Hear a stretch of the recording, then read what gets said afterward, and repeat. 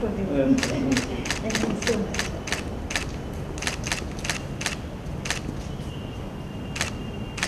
Welcome to India. Thank you.